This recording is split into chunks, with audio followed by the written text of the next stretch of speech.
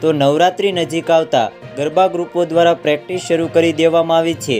Corona કાળ બાદ એક તરફ નવરાત્રિને લઈને લોકોમાં ભારે ઉત્સાહ છે, તો બીજી તરફ આ વખતની નવરાત્રિમાં મંડરાઈ રહ્યો છે હાર્ટ એટેકનો ખતરો. છેલ્લા કેટલાક સમયથી ગરબામાં હાર્ટ એટેકના કિસ્સાઓમાં વધારો થઈ રહ્યો છે.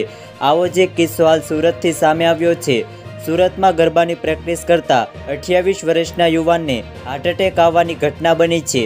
ગરબાની પ્રેક્ટિસ કરતા કરતા અચાનક આ યુવાન ઢળી પડ્યો હતો અને બેભાન થઈ ગયો હતો અને સારવાર અર્થે તાત્કાલિક હોસ્પિટલમાં લઈ જવાતા ત્યાં તબીબે તેને મૃત જાહેર કર્યો હતો. હાલ મોતનું પ્રાથમિક કારણ હાર્ટ એટેક માનવામાં આવી રહ્યું છે.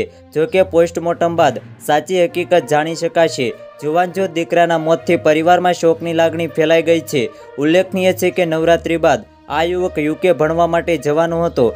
તેની સંપૂર્ણ તૈયારીઓ પણ કરી લેવામાં આવી હતી. તો વધુ માહિતી મેળવવા માટે ચેનલ સાથે જોડાયેલા રહો. વીડિયો પસંદ આવે તો વિડીયોને લાઇક કરી દેજો. ચેનલમાં નવા છો તો ચેનલને સબસ્ક્રાઈબ કરી દેજો.